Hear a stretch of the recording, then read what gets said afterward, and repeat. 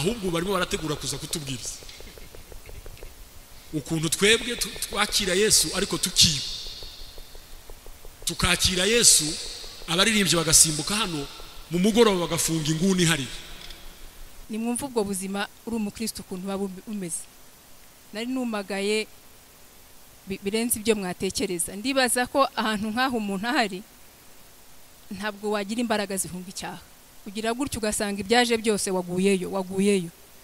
Ariko uh, urubyiruko ruri aho. Noneho murimo murambagiza mugiye gushaka. Mwari muzi ko ikintu kimwe satani yuririraho kugira ngo isenye urugo rwawe. Murabizi? Ku- kuba kuba uri isugi cyangwa uri imanzi. Muzi yuko ari icyaha kuruta zaburi nshya.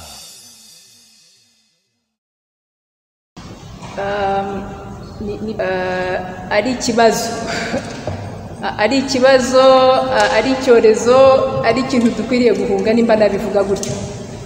Ba- babitubwiye ko eh, icyaha icyo ari cyo uburyo tugihunga umukozi w'imana amaze kutubwira ijambo ryiza eh, ry'imirimo ya kamere n'imbuto z'umwuka. Ariko uyu munsi reka mvuge ngo nk'urubyiruko ubanza nanjye ntararuvamo cyane. Re- reka mvuge ngo du- dufite ikintu ki- kitwugarije dufite ikintu kitubereye nk'iki. Ah, umushumba yavuze ngo yosefu kiriya gihe mu- ijambo mwaduhaye nta nubwo ari umuntu wari wagiye asanga icyaha ahubwo ni umuntu icyaha cyari cyaje gisanga. Akavuga ati mu bigaragara ubundi eh, ntiyari akwiriye no guhunga. Ari nk'umuntu wagira ibisobanuro atanga. Ntekereza ko uyu munsi urubyiruko ru- rufite byinshi bi- birimo biru- birukururira mu byaha birimo birusanga nk'uko icyaha cyasanze yosefu ha- harimo byinshi harimo byinshi. Uyu munsi turirukanka ku butunzi tukabushakisha mu buryo bwose bwose uyu munsi ah, turiho turashaka kwemerwa muri sosiyete tuka kubw'ibyo tubona kubw'uko tubona sosiyete imeze. Ibi bintu byose na- navuga ngo ni ibintu bidushora mu byaha cyangwa se nanone ku rundi ruhande ugasanga ni ibyaha bituzaho nk'uko uh, umushumba yageze kubitubwira. Ariko mu- muri ibyo bintu byose numvise ari amahirwe ngize yo kuvuga ikintu numva nshaka kuvuga. Interinete na social media. Si- sinzi ko biri buhite bihura cyane ariko nda- ndaza kubabwira ahantu ndiho mbihuriza n'ikibazo nari mbajijwe. Ah, dufite abanyamakuru aha babitubwiye ko nibava aha ibyabereye ahangaha barabigeza ku bantu bari kure cyane. Ni uburyo bwiza bw'ikoranabuhanga ryaje kandi ridu ridufasha mu bintu byinshi ridufasha kwiga ridufasha ah, ah, guterana iterana niryo ryatufashe gukomeza gukurikira amateraniro ni ikintu cyiza. Nimwumva mvuga ko ari kimwe mu bintu na- navuga ngo duhanganye na byo cyangwa se dukwiye guhunga iyi minsi ntabwo ari uko ndwanya ikoranabuhanga. Ntabwo ari uko ndwanya social media ndabizi ibyiza byayo ndabizi byinshi birimo. Ariko ah, ni ikintu gifite impande ebyiri nka za- mpande ebyiri z'igiceri. Ha- harimo ibyiza byayo harimo ibibi byayo. Uyu munsi iyo urebye ubushakashatsi bukorwa usanga eh, umubare munini cyane w'abantu ku isi yose hafi kimwe cya kabiri cy'abantu bose bari kuri social media. Bayikoresha buri munsi atari kwa kundi umuntu avuga ngo yagiyeho rimwe azasubiraho ukwezi gutaha. Um, wajya mu mibare uko abantu ku myaka yabo ugasanga abajene hagati y'imyaka cumi n'umunani na makumyabiri n'icyenda barakoresha social media buri munsi ku kigero kingana hafi na mirongo cyenda na ku ijana. Bakubwira nk'igihe umuntu amaraho ku munsi bakakubwira ko moyenne ari amasaha abiri n'iminota makumyabiri n'itanu buri munsi. Icyo ni iyo ni moyenne hari abajya hejuru hari abajya hasi ariko iyo ni moyenne reka wenda ne kwinjira muri ibyo bintu cyane. Ariko ndimo ndatekereza nkavuga ngo nk'urubyiruko uyu munsi turi vulnerable cyane kuri icyo kintu. Tu ki- kiradutwaye kiratujyana kiradutwara umwanya kiraduha amakuru atandukanye. Impamvu nari nshatse kugiheraho wenda nanagihuza n'ibyari byavuzwe noneho nkanagihuza n'ikibazo. Nari mbajijwe uh, cyo kwera kubonezwa mu rubyiruko ese turabivana hehe? Reka mvuge iki kintu. Dukwiye kuba maso cyane ku byo tugaburira amaso yacu n'amatwi yacu.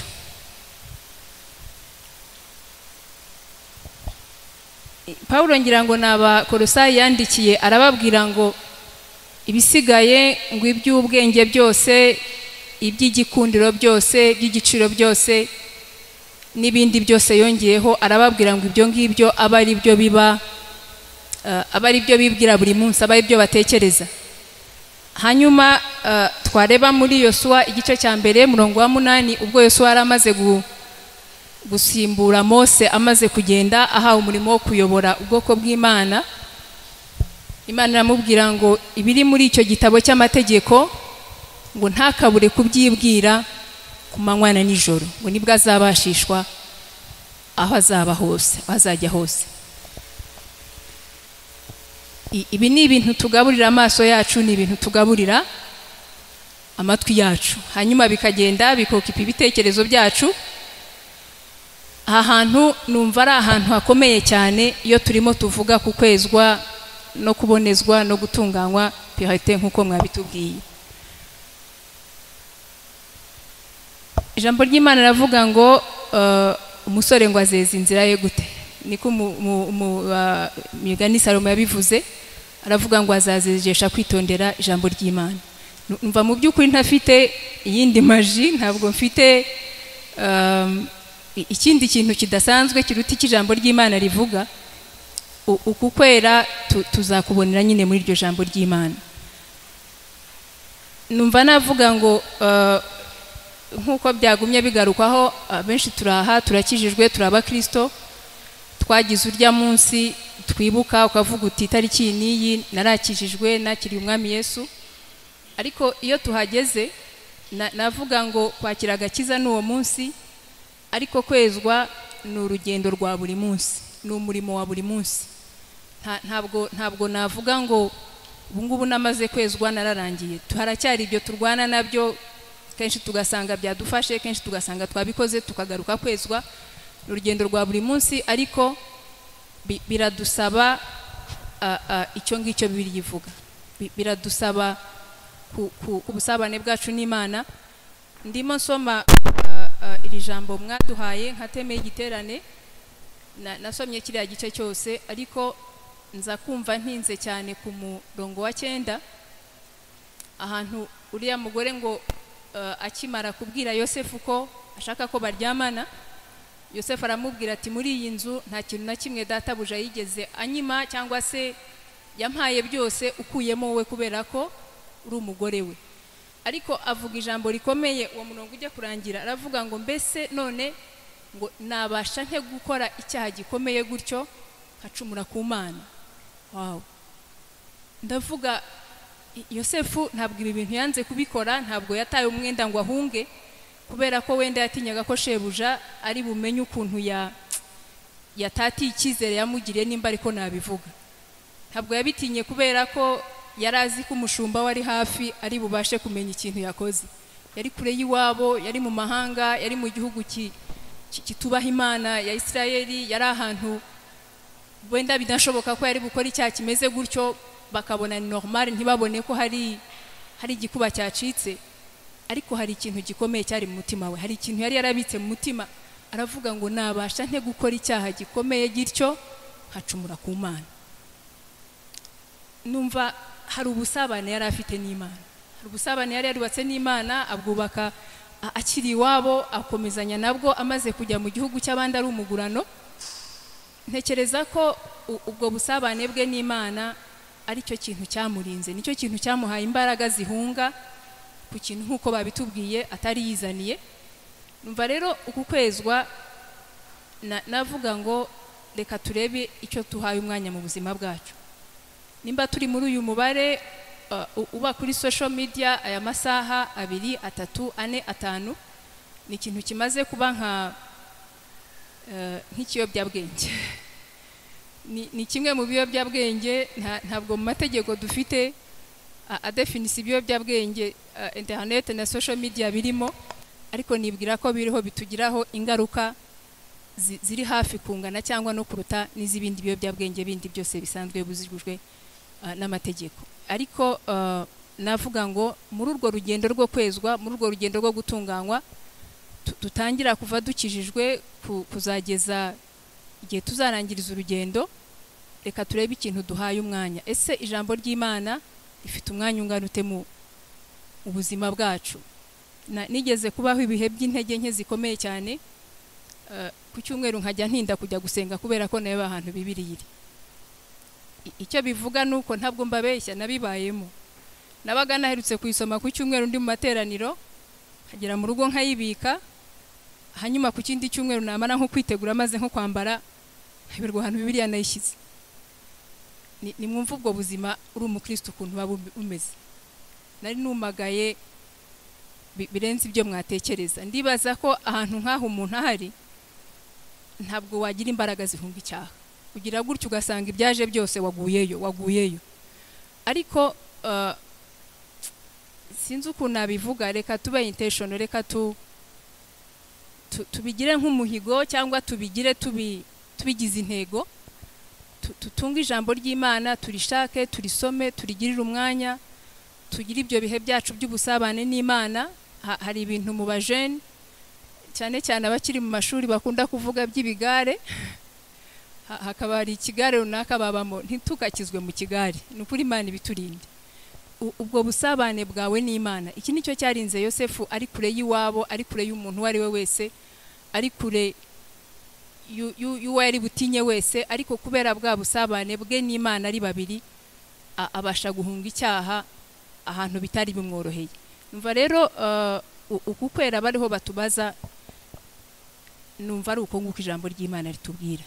Tuzezwa n'ijambo ry'imana tuzezwa tuba mu ijambo ry'imana tuzezwa tugirana ubwo busabane n'imana tugira ibihe byacu byo kwegerana n'imana. Ibi bintu tukabigira ubuzima.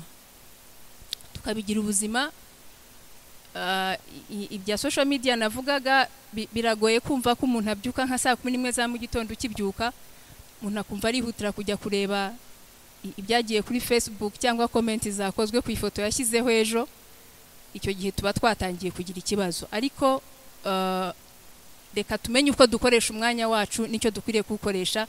Hanyuma ah, uko paul yabibwiye abakorosari arababwira ngo ubwo bamaze kwakira kristo ngo nibashingire imizi bubakwe muri we bakomereye muri we bubatswe muri we kandi bashoreye imizi muri we. Ibyo bintu bizadufasha gushora imizi muri kristo ah, nkumva ari na byo bizadufasha kugenda twezwa nk'uko mwabibazaga. Mbare mbisobanuye mu magambo menshi asi twamera amashyi nawe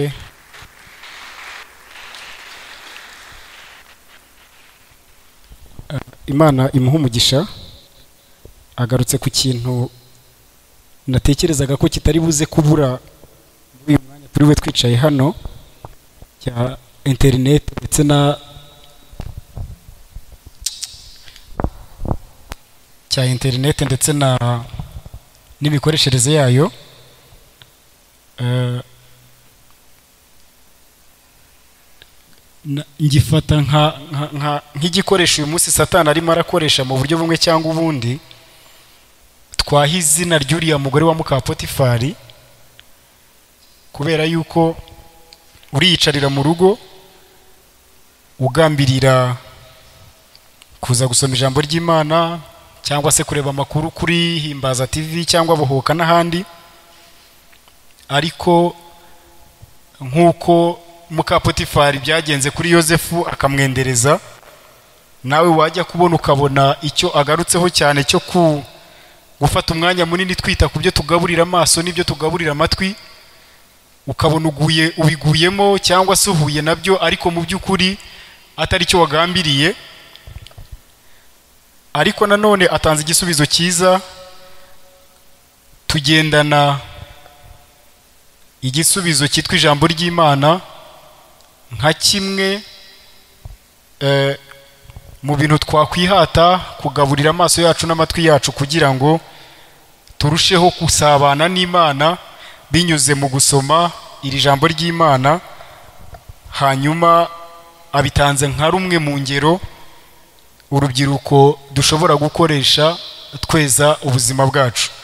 Ndi kumwe rero na mugenzi wanjye edison impamvu namuhamagaye hano kugira ngo dufatanye nuko uh, ndashaka ko abaza ibibazo. Ndashaka ko abaza yicaye hano ari urubyiruko ni umujene kandi ni umujene nkunda kubera ko agira inyota n'ishyaka ryo gukunda cyane ibi bintu by'imana ndetse no kubonera ariko kandi nk'umujene nawe agira imbogamizi nyinshi ahura na zo z'ibi byose turimo turavuga. Edizo umaze kumva icyaha icyo ari cyo nk'uko umushumba yabisobanuye ndetse akavuga ko kuri yosefu we rwose uretse yuko yari yagize imana agatunga imbaraga eh, mu mutima we akibuka itegeko ry'umwami riri mu mutima we akabona imbaraga zo guhunga. Ariko n'iyo abikora twari kujya tubisoma tukabibona nk'aho bamwendereje. Byari bisabwe n'umuntu wari umutunze mu rugo wari nyirabuja. Byari byoroshye ko ashobora kubikora wenda mu kumwubaha kwanga gusuzugura nyirabuja no gutinya ko amusohora hanze. Ariko ntiyarebye kuri ibyo aravuga ngo itegeko ry'imana yanjye riri mu mutima wanjye nimva hano nkagenda niba ari cyo gihano imana izandengera mu bundi buryo. Yosefu yatubereye urugero rwiza. Hanyuma bamaze kubisobanura gutyo bakaduha n'ingero nk'uko tedi yabivuze zo gufata umwuka wera tukamusimbuza tukamushyira ahari iyi kamere izana irari muri twebwe ribyara ibyaha bikazageza ku rupfu baduhaye n'iyi nzira nziza yo kwezwa n'uburyo turi bwibonezemo nagira ngo rero nguhe umwanya hanyuma eh, ubaze ibibazo. Wibariza ariko nanone tubariza aba bantu bicaye hano. Karibu. Murakoze. Mbere y'uko mbaza ikibazo ndagira ngo mbabwire y'uko ikibazo cy'icyaha. Eh, umuti wacyo ni kirisito gusa. Amen. Umuti w'icyaha ni kirisito nta wundi. Ikibazo ni uko twitwa abakirisito ariko tutari bo. We are nominal christians. Turi abakristo bo ku izina. Ariko ubukristo bibiri iravuga ngo uwaba uwaba yanze yikorere umusaraba we ankurikire ntibishoboka yuko ubukristo budafite icyo butakaza ntabwo ari ubukristo. Amen? Muranyumva neza? Ubukristo budafite icyo butakaza si ubukristo. Kandi ubwo bukristo ni bwo bwuzuye hano. Ubukristo hari umuntu wambwiye ngo arambwira ngo ngo twakiriye kirisito ubundi muzi yuko kirisito tumwakira nk'umwami n'umukiza. Ariko twamwakiriye nk'umwami ucungura ubugingo bwacu ariko ntabwo twamwakiriye nk'umukiza ariko ntitwigeze tumwakira nk'umwami. Umwami amen. Umwami ayobora arayobora ntukweshoninga ntubaza ngo ese bimeze gute? Bigenda gute? Iyo icyo bibiri yivuga ni cyo ukora. Twakiriye rero kirisito nk'umuntu gusa uzaduha ubugingo buhoraho ariko ntitwigeze tumwakira nk'umwami. Ubu kirisito rero budafite ikintu butakaza nta bukirisito burimo. Amen. Niba rero dushaka guhunga icyaha cyane cyane tugendeye kuri iki cyanditswe turaza kuvuga kuri sexual purity ku, u, u, u, u, e, guhunga icyaha cy'ubusambanyi cyane cyane. Amen. Bakomeje kubivugaho cyane cyane cyane. Ariko mu by'ukuri ikintu gihari mu rubyiruko natwe twese tuzi ni uko dufite ubukristo budafite icyo butakaza. Ukumva yuko uri umukristo ugomba kuba uko wari umeze. Niba ubukristo bwawe butagira pase uko wari uri ejo bundi hashize ubwo nta bukristo burimo. Kuko ubukristo bwose bugomba kukwereka aho wavuye n'aho uri n'aho ugana.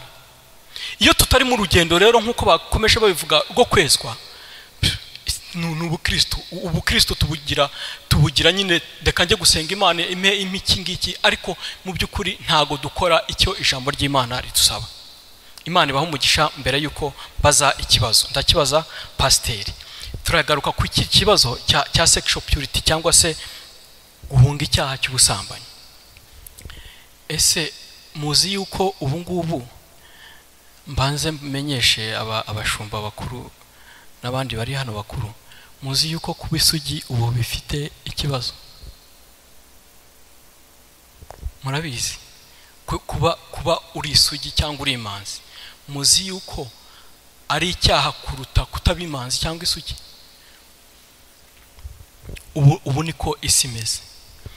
Esike ubu byaba bigishobotse ko tuba amasugi n'amamanzi. Icyo ni cyo kibazo nshaka kubaza pasiteri.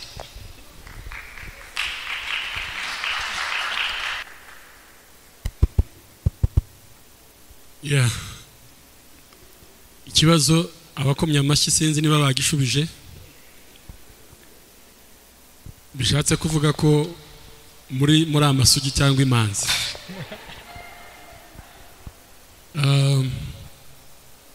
Reka nze ngere kuri icyo ki- kibazo ngisubize kandi ndagisubiza neza.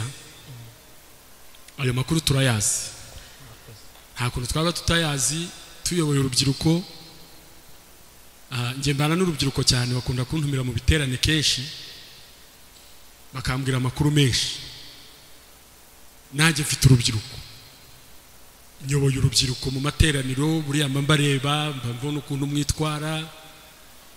Hari n'igihe wenda utamenya umuntu aho yasitaye ariko wakurikirana ugasanga hari ikibazo cyabaye mu buzima bwe runaka. Wenda yakigize ari muto cyangwa se yakigize amaze kuba umuntu wakwifatira icyemezo. Mpereye ku byo tedi yavugaga kare. Ijambo ririmo yakobo igice cya mbere umurongo wa cumi na gatanu na gatatu. Haravuga ngo umuntu niyoshywa n'ibyo ararikiye. Ntakabeshyere imana ko ariyo imwoheje kuko imana ntiyakora icyaha nta n'uwo yacyoheje aravuga ngo nuko iryo rari riratwita rikabyara icyaha. Icyaha kigakura kikabyara urupfu. Wajya mu ndirimbo za salomo ibice bibiri umurongo wa cumi na gatanu. Baravuga ngo mudufatire ingunzu. Bya byana by'ingunzu byonona inzabibu. Inzabibu zirarabije zireze zigiye kwera ariko hari abana b'ingunzu. Sinzi urubyiruko niba bazi ingunzu.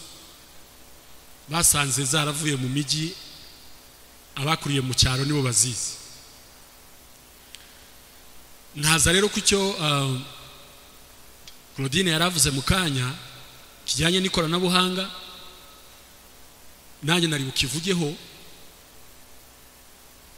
njye nkunda gutanga ingero zifatika zigiye gusa ni- ni- n'ibyo ngiye kuvuga. Reka ngaruke ku cyo nahereyeho. Reka mbabwire ko telefone si icyaha ikoranabuhanga ryose imbuga nkoranyambaga zose ntabwo ari icyaha. Ahubwo icyaha ni icyo uri bukorereyo. Uri wenyine mu nzu amamega ni ayawe telefone ni ayawe no kubera gutinya ko ikuzimana urareba icometse n'umuriro ni uwawe. Mbese uriteguye amasaha yose nushaka ugeze mu gitondo? Mu yandi magambo igikoresho nta kibazo gifite.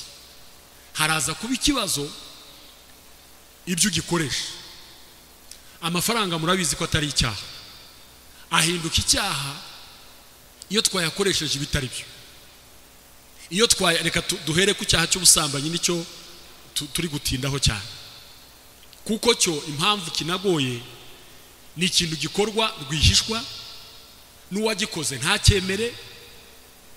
Ubu noneho hari na- n'abatangiye kukiburanira bavuga ko atari n'icyaha.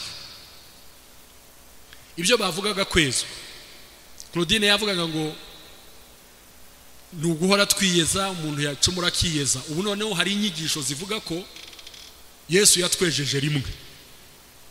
Izo na zo zirahari aha hanze kandi urubyiruko abenshi nizo bari gukunda cyane. Yesu yarabirangije nta mpamvu yo guhora du dusaba imbabazi. Ngarutse kuri yosefu rero. Reka dufate yosefu nk'umuntu wari ufite telefone mu nzu ye wenyine. Irimo amamega yose ngira ngo urubyiruko ubu ngubu cyangwa se abantu benshi ku isi. Yakwemera akabura icyo arya akabura umunyu akabura amavuta ariko amamega yo kirazira. Yakwemera ibindi byose bigahagarara ariko aba afite ikimufasha kureba telefone. Nigeze mbivugaho kare ku bantu badatinya icyaha cy'ubusambanyi. Yosefu ni umuturage ni umuswa ni igicucu nyirabuja yari yarangije gushyiraho abarinzi ko shebuja naza. Yosefu ntabwo yari gufatwa. Yosefu ntabwo bari kumenya n'icyabaye. Na nyirabuja ntiyari kubivuga. Yosefu yarinzwe n'ibintu bibiri.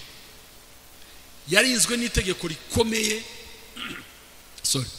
Bigishwaga bakiri abana batoya. Bivuga ngo amategeko icumi bakundaga kuyabatoza ari bato cyane. Abisiraheli ni cyo barusha abandi andi moko yose ku isi. Bo ntabwo basuzugura umwana ngo aracyari muto twebwe twohereza umwana ku ishuri mu myaka itatu. Ariko bo bamuhera afite umwaka cyangwa bakamuhera ari mu nda bagatangira kumubwira amakuru. Icyo azaba n'icyo bamushakaho. Twebwe ubu turimo turashakira abana amashuri meza. Ndavuga mpereye ku bana batoya. Ibigo byigisha neza yewe bigatanga menshi cyane ntitubyiteho icyangombwa ni uko abana biga. Wajya kureba ibyo bari kwiga ni ugushaka akazi ni ukuba abantu bakomeye ariko mu bumana ni zeru. Twanabazana hano mu nzu y'imana ngo tubigishe ababyeyi benshi ntibabazana. Aba bana edizo yabajije kutaba imanzi no kuba isugi ntago bapfuye none. Abana abanyarwanda baravuga ngo umwana apfa mu iterura none si uyu mwana uramubwira ngo abe isugi ninde wabimubujije? Uyu nguyu w'umuhungu uramubwira ngo abe imanzi yabibujijwe nande we azi ko ari ubuzima. Bwo kwinezeza nk'uko yareba telefone nk'uko yareba umupira. Kumubwira ko ari icyaha rero urazana andi makuru adafite. Kandi imyaka afite ntabwo agifite imbaraga zo kubyakira. Yagombye mu migani ngira ngo makumyabiri na kabiri umurongo wa gatandatu. Menyereza umwana. Inzira akwiye kunyuramo azarinda asaza. Ngarutse nanone kuri rya rari tedi yavugaga. Yesu yakoze ikintu gikomeye mu nyigisho ze ku musozi. Muri matayo ahereye mu bice bitanu. Ageze mu bice ngira ngo birindwi baza kumuregera ikibazo cy'ubusambanyi. Arababwira ati mwebwe ikibazo mufite. Murimo murahana icyaha cyagaragaye. Ariko ngewe ngiye guhana igitekerezo. Kitaraba icyaha ni nguko umuntu yahana igiti cy'ishyamba kinini yari akwiye guhana urugemwe. Birumvikanye? Urugemwe rutoya ni igiti kitaragira icyerekezo. Yesu we noneho arabihuhura aravuga ngo mwumvise ko mu mategeko ya mose bavuga ngo ntugasambane ntukice ntukibe. None mwebwe murafata uwasambanye mukamutera amabuye. Uyu muntu muramurenganya nimubanze mwigishe uburyo areka gusambana bihereye mu gitekerezo. Avuga ijambo rikomeye cyane abantu benshi bafite intege nke ku busambanyi batinya kuvuga. Aravuga ngo ngewe noneho nje kubaha amategeko avuga ngo nureba umugore wundi ukamwifuza uzaba usambanye abantu uwo murongo barawusoma bakamanika amaboko batarekarekareka bati ibi ni yesu wabivuze nyine. Hari umuntu wabihagararaho iki? Yesu yashakaga yashaka kwamagana igitekerezo. Iki gitekerezo ni ukuvuga ngo umuntu ajya gusambana. Yarangije esikariye nyinshi cyane. Amaso aramuha akareba umuntu akamwimenyereza. Nta nubwo bahura gusa keretse gufata ku ngufu. Ariko abasambana ntabwo bahura ngo ahita amubwira ngo ngo turyamane nk'uko muka potifari yabikoze. Buriya yosefu nawe yaragiye gufatwa ku ngufu. Ariko noneho icyaha gitangira gitangira ari igitekerezo kikinjira ari irari irari rikazamuka umuntu akimenyereza umuntu mugahura none ejo mukavugana mukaruha ubwoba bugashira mukazategura aho muhurira bwa mbere kuzageza igihe. Ubusambanyi buza kuza. Noneho twe tukamanukana inyundo dukubita ubusambanyi kandi bwatangiye bumaze umwaka. Bumaze imyaka ibiri. Uru rubyiruko rero rw'abantu batoya nsubiza icyo wabajije. Nta kuntu bakomeza kuba amasugi ninde ninde ahubwo se azi isugi ari igiki ko n'ababyeyi tutinya no kubibabwira ahubwo umubyeyi wakwicaza abana be b'abakobwa akababwira ngo mukomeze muba amasugi. Ubanza batokesha abazimu bavuga batumva muhamagare polisi niba ari papa arasaze niba ari mama baramuruzi cyangwa agahamagara abasenga. Naho umupapa we wajya kubwira umusore we yanamubwira ryari se ko aba yunamye muri telefone? Aragira ngo amubwire ati harya umbwiye ngo iki? Ashobora no kumubaza ngo se uracyari imanzi? Kuva muzehera mva ibi byose ni ibiki? Kandi abo nibo dufite b'abahanzi nibo bari kuririmba neza nibo bazamuka ejo bakaba aba- abahanuzi kuko icyo bamaze kuvuga ko atari icyaha wenda reka ndondogore mbihuze n'ibi bintu. Ahantu abantu bakuriye biterwa n'uko barezwe. Twe twakuriye muri sunday school batwigisha amategeko icumi kugeza uyu munsi turayica. Ariko ntabwo ushobora kuyica yose. Ha- hari amwe akurengera kubera ukuntu baguteye ubwoba ukiri mutoya. Reka mvuge ko ari ugutera ubwoba wenda ku bandi bata- bataramenya yesu. Noneho mbihuze ni nigeze mbabwira ko nza kuvuga ku, ku gusumbanya ibyaha. Abantu tugiranye iminsi hano ngize iminsi mbabwira ikintu kijyanye no kubahiriza igihe. Ubu ngewe twicaranye aha kuri uyu munsi. Uko numva mu mutima bimeze kubera kubera icyemezo nafashe. Muri ngiye kwica isaha. Birangana no kunywa inzoga birangana no gusambana birangana no kwiba. Ari na yo mpamvu mbwira urubyiruko. Igihe urimo uratakaza igihe kandi ntikizagaruka kandi ugitakaje mu bintu bitari ngombwa. Uretse na telefone. Uretse ni- n'ibindi. No kuryama byonyine uka- ukageza saa mbiri uri umuntu mutoya njye navuga ngo ni icyaha. Kuko utegerejwemo ibintu byinshi igihe ni bwo butunzi wahawe. Rero edizo ndashaka kubwira ngo kutaba isugi no kuba imanzi uyu munsi navuga ngo tuzabyigisha ariko bigomba gukemurwa abantu bakiri bato.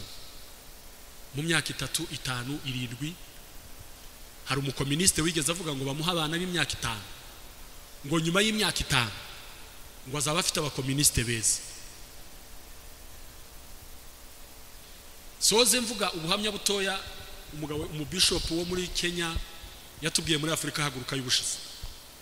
Umudamu we ni umucuruzi yagiye kurangura dubayi agiye kurangura yibagirwa akabaga ke karimo amadolari. Akibagirwa mu iduka rimwe. Agiye mu rindi agiye kwishyura abura amafaranga. Arahangayika ariko aravuga ngo reka asubire aho yabanje wenda ni ho yakibagiriwe. Yinjiye asanga aho yakibagiriwe ni ho kakirambitse. Arabashimira ati yo muri abantu beza rwose imana ibaha umugisha. Baramubwira batumva wigira ikibazo? Twebwe hano nta bakristo bahaba. Abakristo nibo biba. Abayisilamu ntabwo twiba. Icyo gikwasi cyaranjombye n'uyu munsi. Ndibaze se.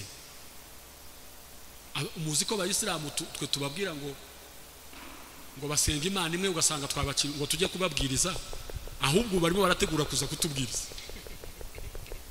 Ukuntu twebwe twakira yesu ariko tukiba.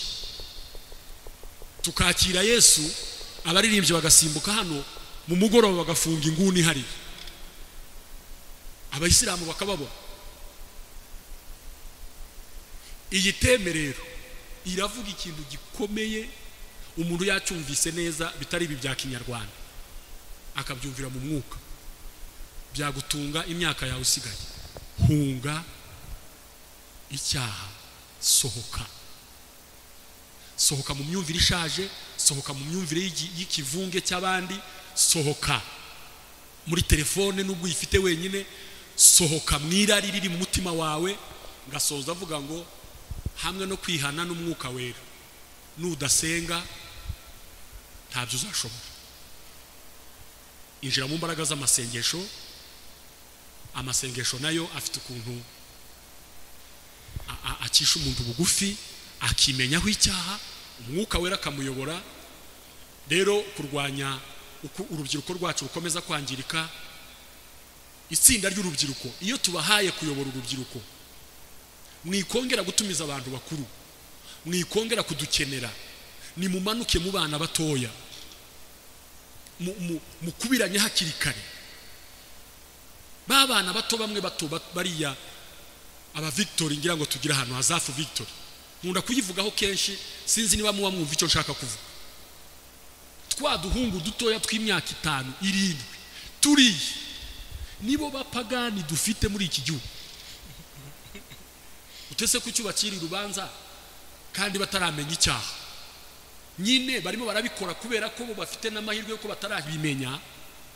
Ariko nibo ba mbere barimo kureba amaporono porono harya ni iki mu kinyarwanda? Filime z'urukozasoni nibo mu myaka irindwi umunani icumi abo ni ibyihebe. Rero ntange rekomandasiyo urubyiruko nimudufashe. Mumanuke mu itorero ritoya mu myaka itanu nimubigisha ni bwo tuzatunga imanzi n'amasugi. Naho ubu nyine keretse uwakwirwanaho afashijwe n'umwuka wera wenyine ku giti cye uwaba imanzi akihagararaho nka yosefu reka tuvuge ko abo ngabo nabo bahari ariko uwakubita icyumvirizo tugakinga hariya. imana yonyine izadutabara ariko ngewe ahantu hari amahirwe y'imanzi n'amasugi ni- ni mu- ni mutabare hariya hepfo. Hariya hasi mu myaka irindwi umunani icumi aba cumi n'itanu cumi n'ibiri na cumi n'itatu. Bo ni abagore n'abagabo. Byararangiye. Abo ngabo dutegereje nyine ko bazakizwa. Kandi noneho reka nsoze nubwo narondogoye. Urubyiruko ruri aho. Noneho murimo murambagiza mugiye gushaka. Mwari muzi ko ikintu kimwe satani yuririraho kugira ngo isenye urugo rwawe. Noneho ababikora babikore bazi ko ari ibintu bisanzwe ariko hari umunyabwenge umwe wavuze ngo abapasiteri twebwe turahagarara hano. Tugasezeranya umuhungu n'umukobwa. Umuhungu si imanzi umukobwa si isugi. Umugisha dutanga ntaho ugera. Turimo turatanga umugisha ku, kadodo k'umutuku karangije kwi- kwiyandika muri ya couple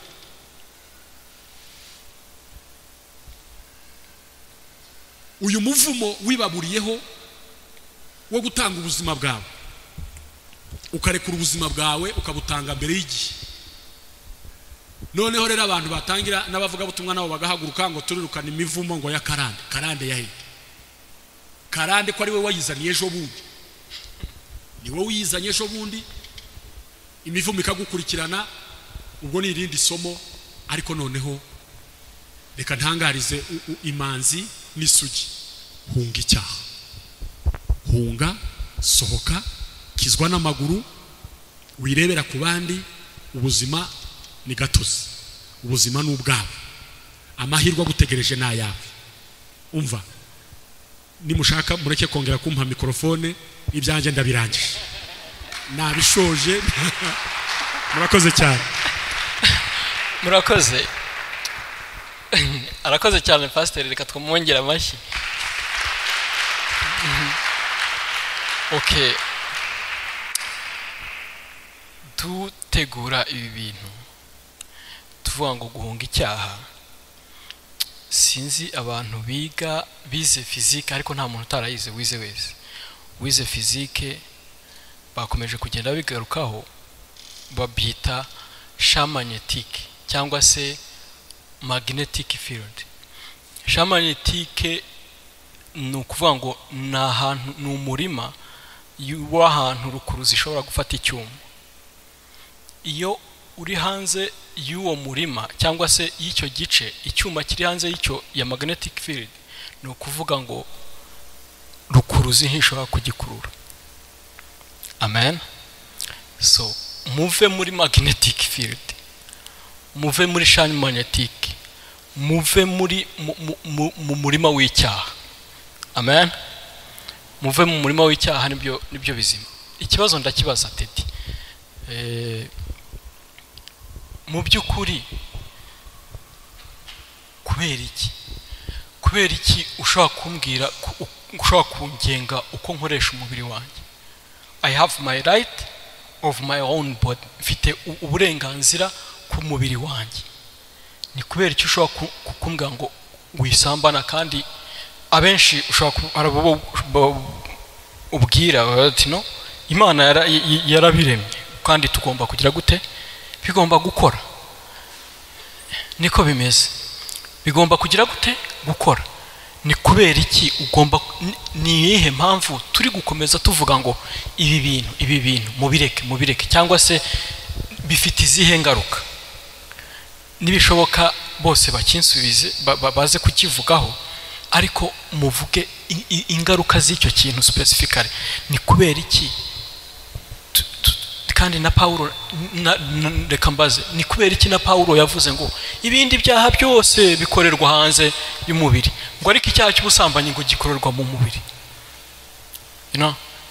Ashaka kugitindaho cyane yerekana ko hariho ruje hari umutuku ko bikomeye ibyo ngibyo. Ni pasiteri yabivuzeho nawe ashaka kubigaragaza yuko n'ingo zisenyuka n'ibiki bibigira naho biva ni kubera iki kandi bifite izihe ngaruka? Ndagira ngo mutinde aho hantu kuko tutabivuze tudavuze impamvu tubibuza ntaho ni ukubivuga gusa ariko tukabirekeraho. Ni iyihe mpamvu? Ni izihe ngaruka? Murakoze. Yesi ashimwe. Arakoze edizo nshimire pasiteri tuganirije neza cyane ku buryo dukwiriye na claudine. Ubundi akenshi sinjya nkunda gusharinga my personal experience mu ruhame zisangira n'abantu edizi arabizi turanabipfa kenshi iyo ndi kuganira n'umuntu umugira inama turabisangira. Ariko ngewe mfite amahirwe ko nkiri urubyiruko ntabwo ndi mukuru cyane ariko kandi sindi na mutoya ndabura amezi abiri yonyine niba ntibeshye ngo nuzuze imyaka mirongo ine.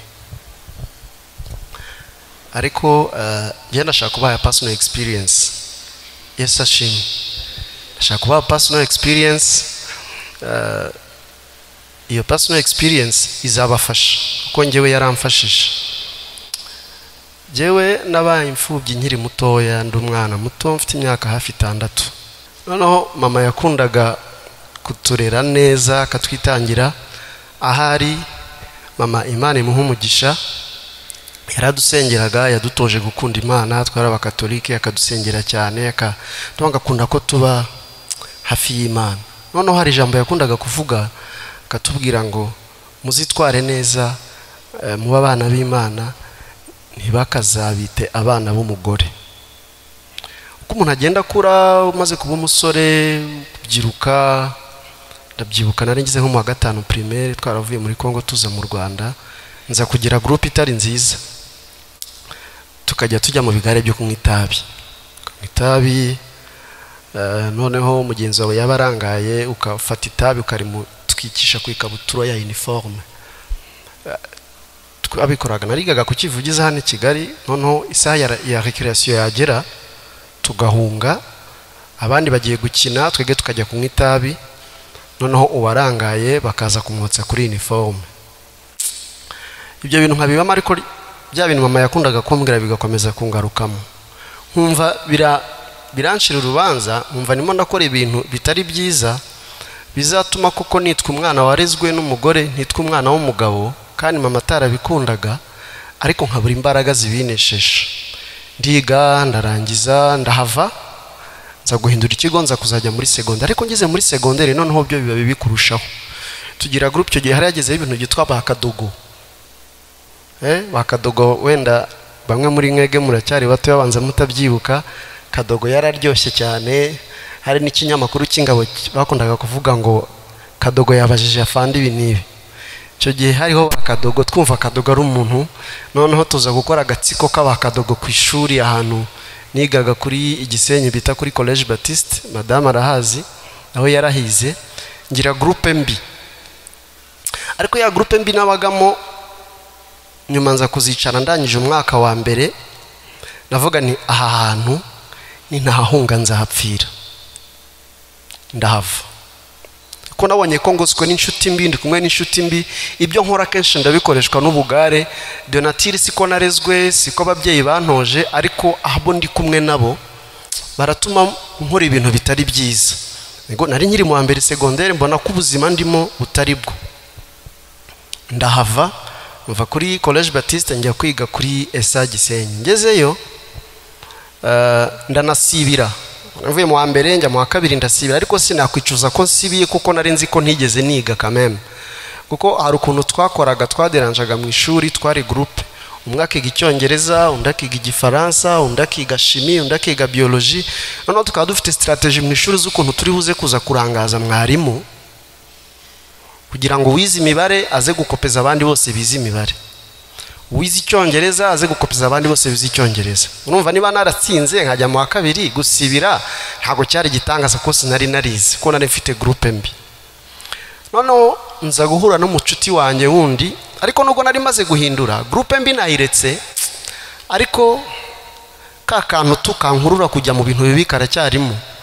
Eh, nza guhura n'undi musore ubwo babandi ndabareka.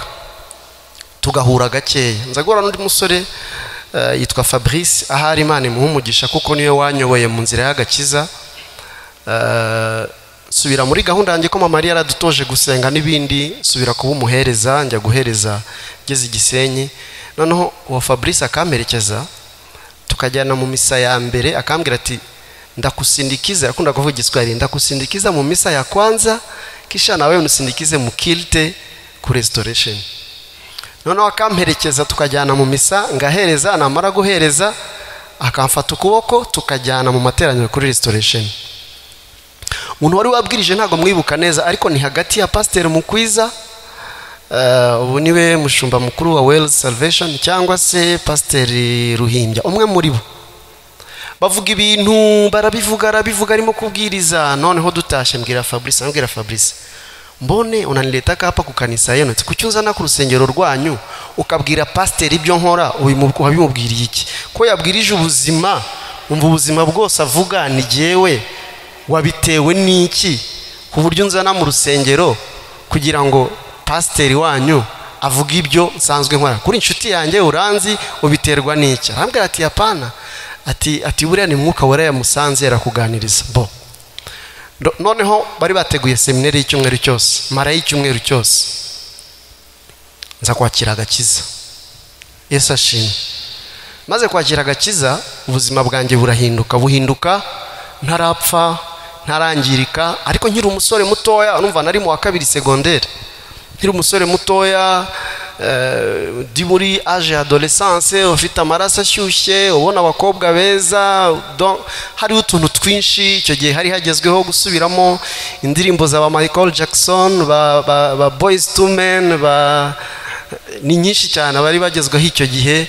Donc turi abasore donc ku ishuri hagezweho ibintu byo kuba buri wese agomba kuba afite abakopine n'ibindi. Ndabyibuka eh, umukobwa umwe yigeze kuvuga turi ku ishuri maze guhinduka maze gukizwa kuko maze kugera aho kuri esa nubwo nari mfite amafuti muri jyewe ariko numvaga nkwiye kubaha mama kuko yari yarantoje kuba umwana mwiza. Ariko nkumva muri jyewe imbaraga z'ikibi ziracyarimo. So aho imana imaze kunkiriza rero ah, sigara mbaho mu buzima bwo gusenga no gusaba mwuka wera ko anyobora. Ribuka umwe yigeze kuvuga ngo uriya musore ngo afite ubwiza bwose ngo ni mwiza ngo ngo ariko abuze ikintu kimwe ngo umuntu utagira inshuti y'umukobwa hano ngo ameze nk'ikigoryi nta kintu na kimwe ubwiza bwe afite bwamupfiriye ubusa. Umutima nkavuga ni imana ishimwe uh, ubwo kuri wowe ndi igipfu ariko ku mana ho ndi muzima. So ibi bintu nshatse kubivugira iki rero? Ediziyo yabivuzeho twabiganiriyeho twese ariko nta kindi kintu gishobora kugushoboza kunesha icyaha usibye yesu. Yesu rero agendana nanjye kuva icyo gihe. Aranyobora mbaho mu buzima bukunda gusenga mbaho mu buzima bukunda gusoma ijambo nubwo bitabaga ari cyane uh, mpindura inshuti. Inshuti zanjye zose na za zindi twabanaga mbere ndazireka. Kugeza ubwo umwe muri bo yamenye ko nakijijwe twahura mu nzira kandi yari inshuti yanjye magara ntansuhuze kubera ko nakijijwe. Kambwira niba ushaka ko twongera kubana mu buzima tukagendana tukaganira tugasabana tukinjoyinga ndashaka ko uza tukongera tukabana. Ndamubwira nti nakurikiye yesu kandi ntibishoboka ko namusiga wowe uzagende ugume muri ibyo ariko njye nzakomeza njyane na yesu. Iherezo rye ryabaye ribi yageze aho eh, yari afite amafaranga menshi ararangiza akorera amafaranga aza kuba ibandi aza kwibisha imbunda baramufunga akanyanyandikira ari muri gereza akambwira ngo nawe yakiriye yesu umwami n'umukiza. So nubwo yakiriye yesu umwami n'umukiza ariko yari yaragize gute? Yari yarafunzwe.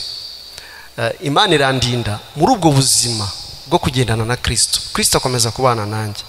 Jya mbyibuka imana yangiriye umugisha imigikundiro impano yanjye yo kuririmba nkaririmba mu rusengero abantu bakishima abarwayi bagakira ariko n'ibigeragezo ntibure kuza. Cyane cyane nagiraga ikigeragezo cyo gukundwa n'abana b'abakobwa. Murabizi abaririmbyi iyo umuntu yaririmbye abakobwa rwose baragupfira. Pe bagahaguruka ku bwinshi.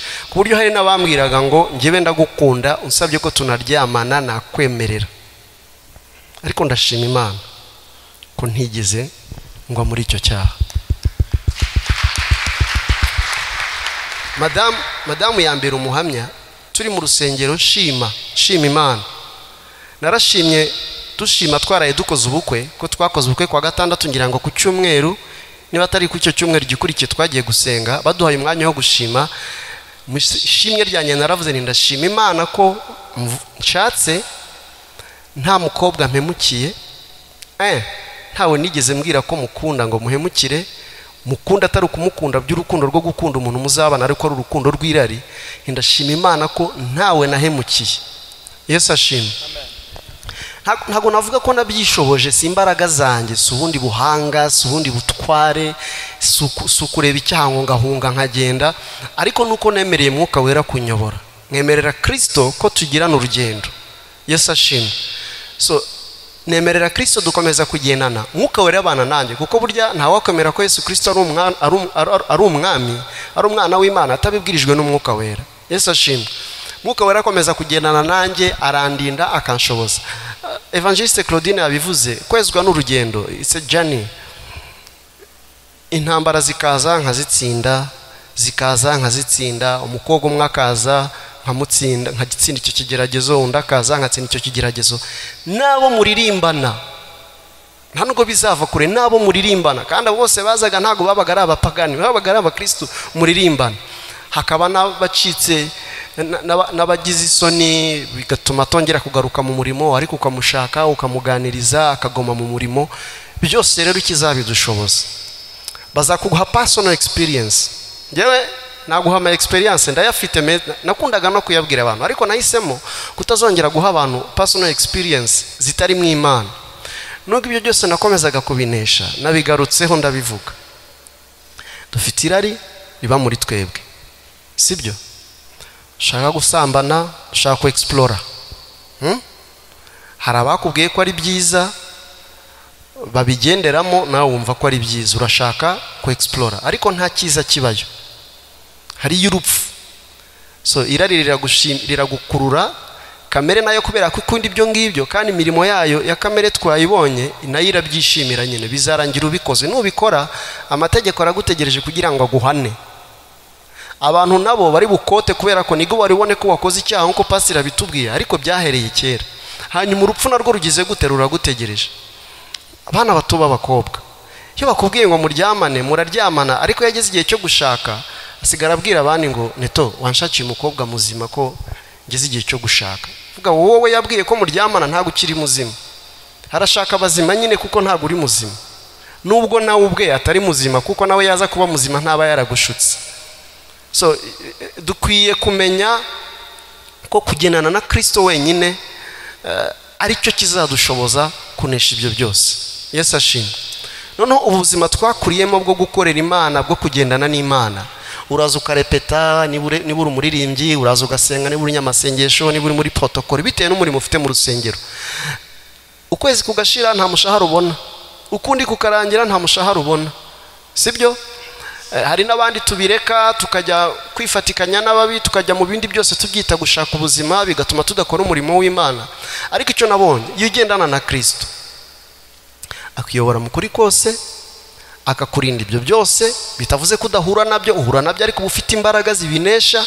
Hari ahantu ugera iyo ugendana na kirisito bikaguhindukira ubuzima. Ntibibe bikiri gusambana ntibibe bikiri ikintu kikuremerera. Rwose pe. Ntiba ari ikintu kikuremerera bikaguhindukira ubuzima ukaba uzi neza umwana w'imana ntasambana. Umwana w'imana ntabeshya. Umwana w'imana ntagira ishyari.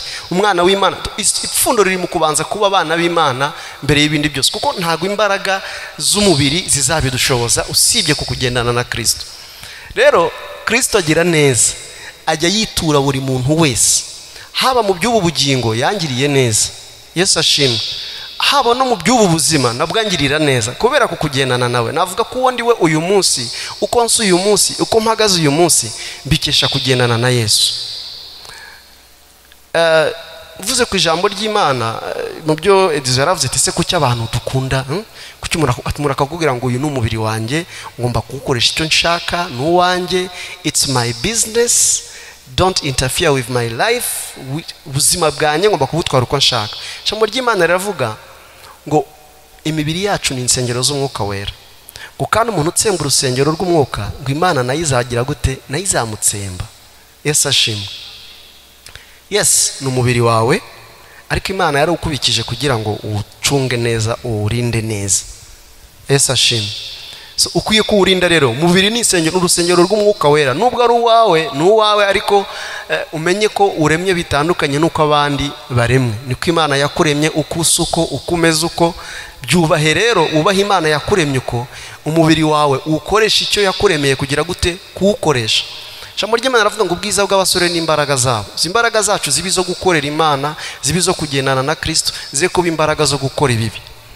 Mu bakorino ba mbere igice cya cumi na gatanu mirongo mirongo itatu na gatatu aravuga ngo ntimukibeshye ngo kugendana n'ababi konona ingeso nziza. Hari hari expression nyankunda muri français kure bavuga ngo ne vous y trompez pas les mauvaises compagnons sont la ruine d'une bonne conduite. Ngo ngo inshuti mbi ni umugese w'ingeso nziza. Yesu ashimwe rero nabitindaho navuga byinshi ariko ngewe mpamya neza ko uyu munsi ama living proof ko kugendana na kirisito ngiye kumara imyaka makumyabiri n'itatu. Nakijijwe muri mirongo icyenda n'icyenda kuri noheli mirongo icyenda n'icyenda ndabatizwa kuva icyo gihe kugeza uyu munsi. Ndabahamiriza ntashidikanya ko. Bitari ibyo ku munwa gusa bitari iby'amagambo gusa. Niwemera kugendana na kirisito umwuka wera w'imana akayobora ubuzima bwawe. You not be a failure. Ntabwo uzatsindwa uzanesha kandi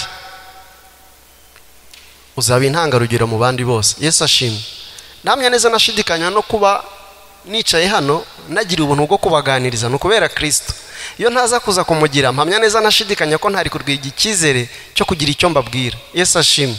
So kirisito yinjire muri twebwe niyamara kwinjira muri twebwe yaduhaye mwuka wera mwuka wera tumusimbuze aze afate umwanya wa kamere. Kuko iyo kamere afashe vola ni we utuyobora.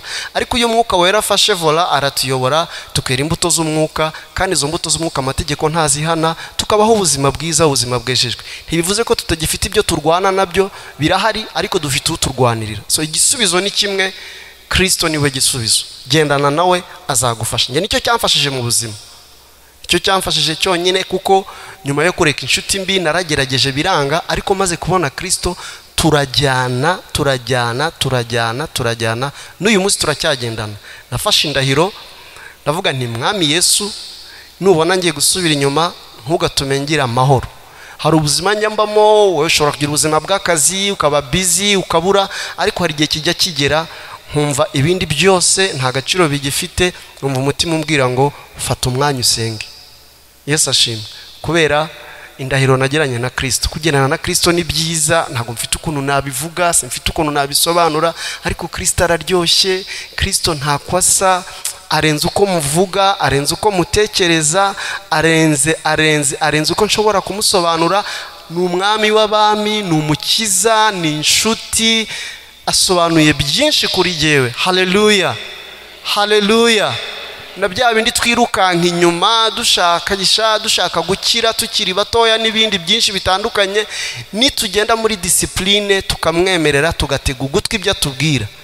Ejo ni twebwe tuzaba turi abagabo ni twebwe tuzaba turi abayobozi ni twe tuzaba turi abashumba ni twe tuzaba turi abayobozi b'amatorero n'ibindi byinshi bitandukanye. Ndangiza nagira mbaho ikintu kimwe. Mbabarire kuba narondogoye cyane.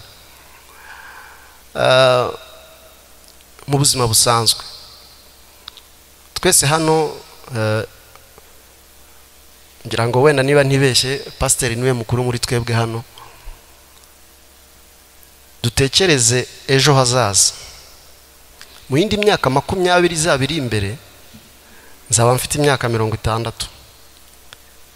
Nzaba ndi umwe mu basaza bo muri iki gihugu. Siko bimeze ahari? Mu myaka makumyabiri nzaba ndi umwe mu basaza b'iki gihugu. Ese nzaba ndi umusaza ushobora guha inama abatoya b'icyo gihe mbabwira ngo dore mu buzima ubu n'ubu n'ubu n'ubu n'ubu nanyuzemo. Nabonye byinshi n'ibi n'ibi n'ibi. None bana batoya mugerageze mukore ibi n'ibi bikwiriye. Kuri iyo myaka mirongo itandatu nzaba ntagishoboye gukora. Sinzaba ngishoboye kuba ndi ahantu nicara ngo nayobora kuko nzaba nshaje nzaba afite imbaraga nkeya.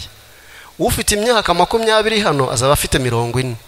Ufite icumi azaba afite mirongo itatu. Yesu ashimwe.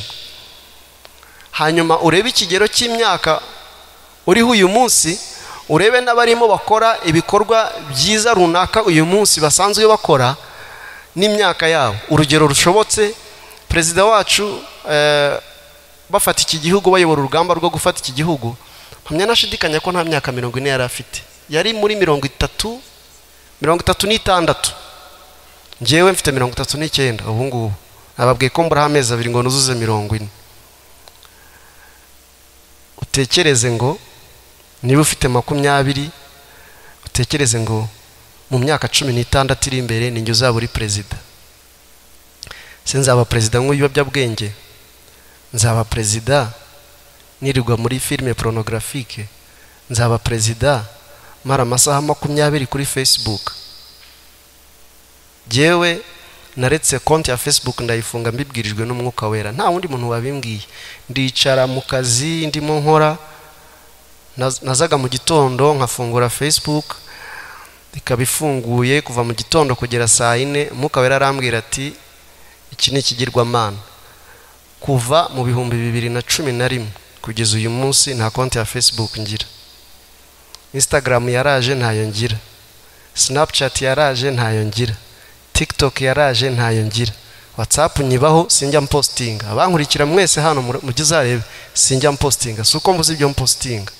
Ariko nuko mbasha mfite nzi impamvu ntabasha gukora ibyo. Si uko navuze ko ari icyaha. Ariko n'icyemezo nafashe mwuka wera yambwiye kubireka. So nawe uhitemo icyo ugomba gukora uyu munsi. Ufite imyaka makumyabiri? Ejo ni wo mugabo.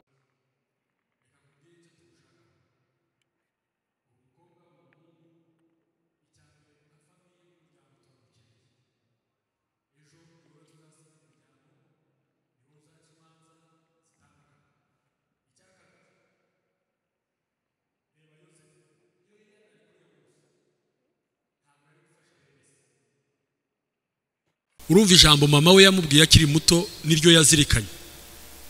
Aribyo nababwiraga ngo dusubire mu bana bato bariya tugende tubabwire. Ejo bundi narimo nsetsa abantu babwira ukuntu nagiye gufata nagiye gusaba kereda ahantu. Ngezeyo umuntu ushinzwe keredi aransuhuza turavugana ibintu byose ndashaka amafaranga. Eee ufite imyaka ingahe? Nabaye nka wa mukecuru agiye kwivuza batese ufite ingahe atese? Aho ndwaye ha- hahuriye he n'imyaka? Ndamubwira none se ko njya gusaba amafaranga kuvuka ryari bi- bihuriye he? Aterega biterwa n'imyaka. Iyo ufite hari ayo tuguha hari n'iyo ugeze ntituyaguhe. Ndavuga nti mbonye icyigisho kabisa. Mwebwe muracyafite amahirwe ko babaha amafaranga. Kubera imyaka myinshi mufite. None turagukeneye ngo uze uhagararire famiye uri muzima mu itorero turagukeneye igihugu kiragukeneye. Tedi yari avuze kuba perezida noneho uretse kurota perezida basube na minisitiri. Uzaba minisitiri utarize se ugera ku ishuri. Ibyo bakwigishije telefone bavuze ngo mu kigo ntawe uyinjirana wowe ukinjirana simukadi. Kugira ngo uzaporofite ujye gushaka telefone ahantu kugira ngo ushyiremo. Urubyiruko rwacu ni, turacyarimo tubahendahenda ubuhamya bwo ni burebure jyewe nigeze ku- kuba mu butayu igihe kinini senga cyane. Kandi ngasengana n'abakobwa. Bakobwa tukararana mu butayu. Yaba umwe baba babiri mbese mu buryo bw'umwuka nari meze nk'umukobwa. Noneho igitangaje twagenda turi gurupe y'abahungu n'abakobwa. Kajyamo n'abakobwa ko barampungiraho. Ese ko mumpungiraho bya ati runa ayidize uramuzi wowe ati nubwo twataramye ari kuriya si muzima. Bageze igihe abahungu barandakarira baravuga ati ariko iki kigoryi tuzakigira dute? Reka nkubwire ko iyo yesu yaganjije ubwonko bwawe kuri iyi si uhinduka ikigoryi ariko mu buzima buzaza uretse no kujya mu ijuru. Iri vugabutumwa mfite uyu munsi. Imana yariteguye icyo gihe. Ni benshi barabavugabutumwa bandusha ariko kubera ukuntu biyandaritse icyo gihe ubu sinzi n'amakuru yabo. Rero nimwikomeze muhagarare umuyobozi w'urubyiruko rero muturebere n'isaha igihe turi busoreze. Ndabona abantu bagiye kure batangiye kunywa. Ariko umubiri wawe turawukeneye yego n'uwawe nyine ariko kandi twakugira inama zo kuwufata neza. Ejo ntuzaba ukiri uwawe gusa uzagirira abantu benshi akamaro. Murakoze cyane.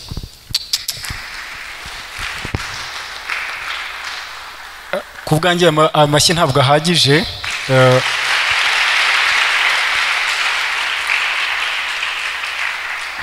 imana ibaha umugisha mu by'ukuri reka mba- mbashimire uburyo twebwe twicaye imbere tuba tubireba uburyo abantu bari attentive. Munyihanganire dusigaranye iminota mikeya gusa mirongo itatu nk'uko biri ku butumire turasoza mu kanya saa kumi n'ebyiri ariko kandi ntitwaza gusoza tudatanze umwanya nibura w'abantu nka babiri cyangwa batatu muri audience kugira ngo tumenye niba ibintu bivugiwe aha abantu babyumvise cyangwa se hari imbuto bi- bibibye mu mitima mu buzima bwacu. Mpereye ku mushumba ndetse nshimira na edison wabajije ibibazo bigendanye eh, no kwezwa kubera yagiye in deep cyane cyane ku bireba urubyiruko. Eh, mbere y'uko nakira ibibazo nka bibiri cyangwa bitatu ndumva ashaka kubaza ikindi kibazo mama claudine ariko na cyo kigendanye na experience noneho atugira inama mu buryo buri pratique uburyo tuza kubyitwaramo. Muri ezekiyeli ibice makumyabiri na bitatu rubyiruko muri hano muze gusoma iki gice kiraza gufasha benshi kwihana no kongera kujya imbere y'imana bagasaba imbabazi. Ndabyibuka niga muri kaminuza bishop bita prince Rucu- rucunda yigeze kuza kwigisha amaze kwigisha asengesha abantu kubera inyigisho yari yabanje kwigisha asenga asaba abantu ngo abakobwa n'abasore bari mu iteraniro bahaguruke. Habura umuntu n'umwe uhaguruka. Kandi yari yaje kwigisha urubyiruko muri kaminuza. Yigishije avuga ngo niba uri umukobwa uri hano ibere ryawe hakaba hari umuhungu warikozeho ubwo wabaye umugore. Aravuga ngo niba uri umusore uri hano ukaba hari umukobwa w'abandi wasomanye nawe ubwo wa- wabaye umugabo. Watangiye gukora ibikorwa by'abagabo watangiye kujya mu kazi katari akawe katakureba arangije asengera abakobwa n'abahungu arabahagurutsa habura n'umwe uhaguruka. Bivuze iki? Bivuze ngo bose nk'urubyiruko bari baraguye muri uwo mutego. Ariko nk'uko umushumba amaze kubivuga rimwe na rimwe biterwa n'uko aho twakuriye tutagize amahirwe nk'aya twagize uyu mugoroba wo guhabwa izi mpanuro n'impuguro ngo twerekwe inzira umuntu akibasha kurwana na byo ahubwo umuntu akabihabwa byamaze kurenga igihe cyamaze kurenga. Ngaruke kuri iki kintu. Ku buhamya bwa tedi birashoboka ko kurindwa kwe wowe bitakubayeho. Nk'umwana w'imfubyi w'umukobwa cyangwa w'umusore utabonye imbaraga nk'iza yosefu cyangwa nk'iza tedi ariko wowe ukaba waraguye muri uwo mutego. Icyo kintu ugahura na cyo. Uri umukobwa bwa busugi edison yavugaga uyu munsi bukaba butakiriho. Uri umusore bwa bumanzi edison yavugaga uyu munsi bukaba butakiriho. Ariko nubwo bimeze bityo pasiteri yavuze ngo hasigaye hariho inyigisho zibwira abantu ngo twarejejwe byararangiye kirisito yabikoze rimwe mwikorera ibyo mushaka. Yongera avuga kandi kantu aravuga ngo kimwe mu bintu bijya bituma urugo rwubakwa uyu munsi ni uko umugore asangwa ari umukobwa iyo agiye mu rugo cyangwa umusore akagenda abizi neza ko akiri umusore ko akiri imanzi. Bijya byubaka urugo. Mperuka kujya muri rari yari yabereye hano i nyamata yari yabereye i gako ntababeshye amaso yanjye natashye yababaye. Kubera yuko ubuzima bw'abana b'abakobwa bwa none aba bajene baba abanyamakuru namwe mwicaye aha mutegereje kuzavanamwo abagore. Uretse yesu wenyine wahera uyu munsi atangira kwinjira mu buzima bwabo ariko biragoye kubonamo abagore. Ndabivugira iki? Ndabivugira ubwo buzima nabonyeyo. Ukabona umwana w'umukobwa uburyo yambaye ukabona umwana w'umukobwa umugabo basohokanye umusaza basohokanye agahinda karakwica mu mutima.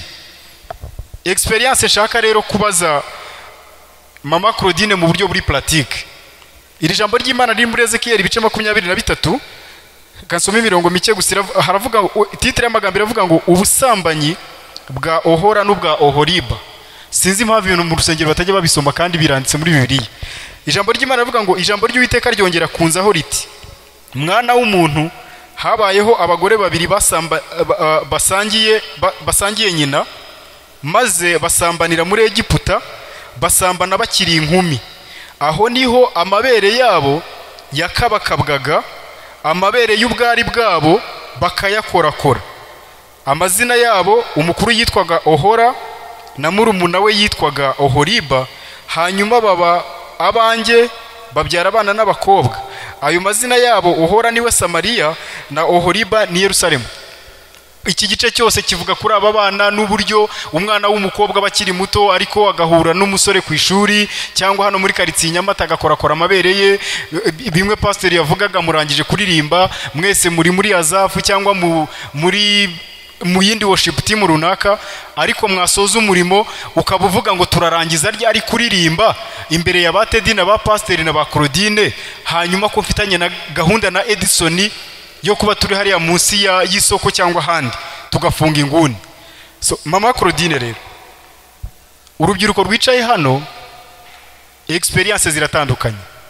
Ijana ku ijana turacyafitemo amasugi ndetse turacyafitemo n'imanzi. Ariko kandi birashoboka ko hari igihe nyine izi mpuguro zitangwa zitinze zikaza umuntu yaramaze gutakaza icyo kintu tuba tugiye gutangira kuganiraho kugira ngo umuntu afate umurongo. Abantu bicaye hano byamaze kubaho. Turabagira inama ki kugira ngo uru rugendo rwo gutangira kwezwa batangire urugendo? Hanyuma abo bitarabaho bakimeze nka yosefu. Bakimeze nka mariya batarahura n'umuhungu batarahura n'umukobwa. Mu buryo buri puratike turabafasha dute turabagira inama ki?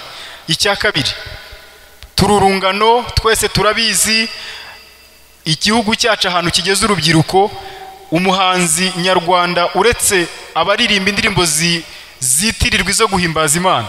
Abandi bose ntawe ugikora indirimbo ngo abantu bayumve cyangwa bayemere cyangwa bayikunde iyo atazanye mw'ibi bintu byo gufata abakobwa n'abahungu ngo abacengeze mw'ibi bintu byo gukora ubu busambanyi turimo turaganiraho. Puratikema turagira inama ki? Uru rubyiruko. Imana ikomeje kurokora yahaye agakiza nabo ko bahura n'izi ntambara nabo ko ibi bintu bibasanga aho bari pratikema babigenze gute bitware bate hanyuma nasoza ndakira ibibazo bibiri cyangwa bitatu tu- kugira ngo amasaha twihaye yo gusoza tuze kuba dushoje. Karibu mama. Ah, merci neto. Ndumva sinzi ko ndi buvuge ibintu byinshi. Urumva hari ibyo bice bibiri ha- hari abakibashije kurindwa. Reka mbyite gutyo sinzi ko nanavuga ko arinda ndaza kuvuga kwirinda ndaza kuvuga impamvu wenda nkoresheje iyo terminology. Hari abandi bamaze gukora ibyo byaha. Ah, reka mpere kuri aba ba kabiri. Reka mpere kuri aba ba kabiri. Reka mvuge ngo haracyariho ibyiringiro. Ntabwo eh, ngira ngo ni ijambo nasomye mu gitondo mu bice nasomye muri yohana ntabwo yesu yazanywe no gucira abantu witeka ahubwo yaje gushaka icyari cyazimiye. Aba bantu haracyariho ibyiringiro nta ntabwo turaha kubaciraho iteka yesu na yesu ubwe ntiyabaciraho iteka. Haracyariho ibyiringiro byo gutangira uyu munsi. Bishobora kuba byarabaye rimwe bishobora kuba byarabaye kenshi bishobora kuba byarabaye eh, nk'ubuzima. Nigeze kubona umukozi w'imana umwe aravuga ngo buri bu- buri munyabyaha wese afite ejo he kimwe n'uko buri yabivuze muri rw'amahanga kimwe n'uko buri ntungane yose nimba ariko nabivuga na yo ifite ejo hayo. Dufite ahantu twavuye nta ntabwo eh, twakuze cyangwa twavutse dukijijwe dufite twese ahantu twatangiriye dufite iyo pase twagize ariko kandi dufite n'ejo hacu. Rero niyo mpamvu nari mvuze ngo abo bantu haracyariho ibyiringiro. Ntibumve ko iteka riciwe ntibumve ko uh, byarangiye. Amaraso ya yesu aracyariho kandi aracyafite imbaraga zo kweza. Aba bantu baracyafite ejo habo baracyafite fitire yabo i- iri asure mu maraso ya yesu. Ni umwanya mwiza ah, yabivuze ati ashobora kuba ari umwana w'umukobwa. Ngira ngo ni amateka y'iki gihugu abantu benshi bakuze ari abana bato batagira ababarera akirera akarera barumuna be bafite nk'imyaka itanu itandatu nawe angana nka gutyo. Hanyuma nyine ugasanga ubwo buzima bwose bufite ukuntu bwubatse iyo pase yabo umuntu uyu munsi akaba ari uko ari. Ariko haracyariho ibyiringiro. Nta teka uciriweho aba bantu babasha kongera bakihana cyangwa se hashobora no kuba hari n'abihannye ariko uyu munsi kikamera nk'ikigarutse akumva urubanza ruragarutse ariko icyo ni cyo cyazanye yesu. Aba kabiri abo bantu navuze ngo bakirinzwe. Impamvu navuze kurindwa nta mbaraga na zimwe twakoresha ku bwacu.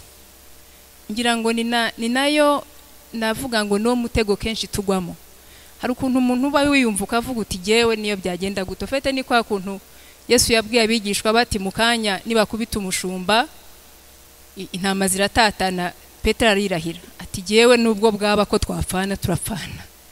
Ariko nyuma y'igihe gito inkoko imaze kubika ararira yibuka ko amaze kwihakana yesu gatatu. Ha- hari ukuntu tugira navuga ngo self confidence hari ukuntu twiyumvamo imbaraga ku bwacu. Nkavuga nti jyewe Claudine mpagaze hasi sinshobora gukora iki kintu.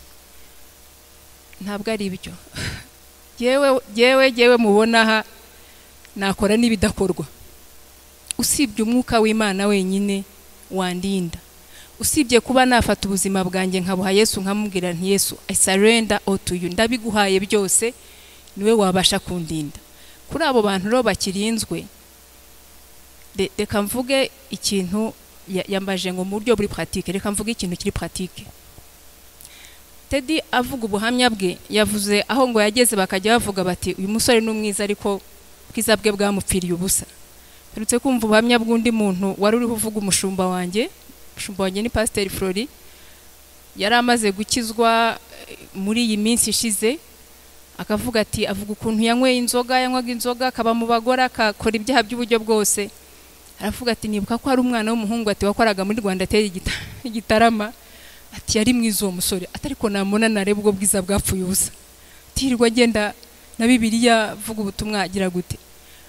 Aho hantu ha- harimo ikintu gikomeye. Nakivuze kare uh, mu- bintu mbona biri nka challenge ku rubyiruko usibye n'urubyiruko ngira ngo n'abakuze ni ibintu biriho biza gushaka kwisanisha n'abandi gushaka kwemerwa. Na icyo ngiye kuvuga reka nkireke byatinda. Ariko twese twageze ahantu tunyura ukajya ubona ntusa n'abandi bantu. Ukabona umeze nk'aho uri ikibazo. Nibuka mfite imyaka nka makumyabiri n'ibiri hari umubofurere mfite ni inshuti yanjye cyane. Umunsi umwe aranyicaza arambwira ati uyu munsi tugiye kuvugana ibintu biri siriyasi arambwira ati ntabwo urwaye. Akamubwira se ndwara iki? Arambwira ati uko ungana uku ntiturabona umuhungu muri uru rugo ntiturumva n'uvuga mu izina. Biba ikibazo. Ndamubwira ndi muzima ijana ku ijana nta kibazo na kimwe mfite. Ariko aho hantu twese turahagera ah, muri komporutema mu mu buryo bwose. Hari ukuntu isi iriho idutegeka kubaho. Hari ukuntu ugira gutyo ugasanga pas sinkunda gukurikirana abantu bo hanze cyane ngira ngo mbagiraho amakuru make. Ariko ugasanga ukuntu ngo kadishiyani asigaye yambara ejo mu gitondo ugasanga i kigali abagore bose. Ibintu utazi igisobanuro cyabyo ibintu uta- udafitiye impamvu n'imwe ariko juste kuko ariho isi irimo ijya ugakurikira. Donc tufite icyo kintu cyangwa urubyiruko ru- rugowe n'icyo kintu cyo kugera ahantu mu myaka cumi n'itanu cumi n'itandatu ugasanga abantu bose bafite abakope bafite abakopine kamwe mukumva si wowe uzasigara uri ikibazo mu bantu. Abantu bose basigaye bogosha nabonye inyogosho zaje z'utukato n'ibindi eh? ukumva si wowe uzasigara tugakurikira gutyo. Rero abo bantu re- reka mvuge iki kintu. Yigeze kubaza ikibazo edizo aravuga ati umuntu arakubwira ati ese simfite uburenganzira no ku mubiri wanjye ntabwo ari uwawe. Bibiliya iravuga ngo ntabwo tukiri abacu ngo twigenge twaguzwe amaraso y'igiciro. Nkunda ukuntu pawulo yi- yiyentroduiza muri ziriya nzandiko ze ukuntu avuga ngo pawulo imbata ya yesu kirisito pawulo wagizwe imbata ya yesu kirisito imbata ntiba ikifiteho uburenganzira. Uba warabaye uwashobuja agufiteho uburenganzira ijana ku ijana. Nimba twariyemeje kuba abakirisito ni- nitumenye ko twabaye imbata za kirisito nitumenye ko yatuguze iby'igiciro cyinshi. Nta- ntabwo dukwiriye gusa n'abandi. Ntabwo ntabwo duhari kugira ngo dukurikire aho isi tujyana. Ejo bundi nasomye akantu ndagakunda umuntu wavuze ngo ifi ipfuye ngo niyo yonyine ijya ibasha ku kujyana n'amazi aho ajya. Burya inzima abasha kumanuka yigakata ikazamuka iyo imaze gupfa amazi ayitwaraho agiye hose. Only the dead fish niyo ikurikira umuvumba w'amazi. Nta- ntabwo turi abantu bapfuye mu buryo tutwarwa n'umuvumba w'isi aho tujyana. Twa- twakiriye kirisito pasiteri yigeze kubivuga inyigisho z'ubuntu ziriho bakubwira ngo ubuntu bwarabonetse ariko ntabwo ubuntu bwabonetse ari ubwo kuduha uburenganzira bukora ibyaha. Ubuntu bwabonetse ngo ni ubuduhanira gukiranuka ni ubutwigisha gukiranuka ni ubu- ni ubutubuza kutubaha imana ni ubutubuza kugendera mu nzira z'isi. Rero abo bantu re- reka tubanze tumenye icyo.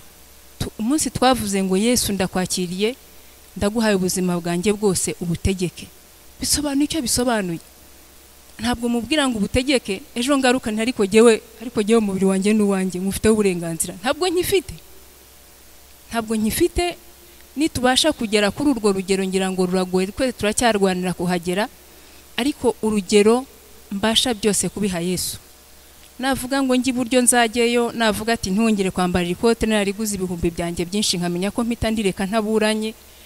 Navuga ati nka- nkahora ntegereje icyo avuga ngakora icyo ngicyo. Numva ari rwo rugero dukwiriye kugeraho kandi aho ngaho ni ho tuzabasha kurindwa. Naho ubundi tukiri hahandi nihangandagaza nkababwira ntigewe uko mumbona uko sinshobora gukora iki?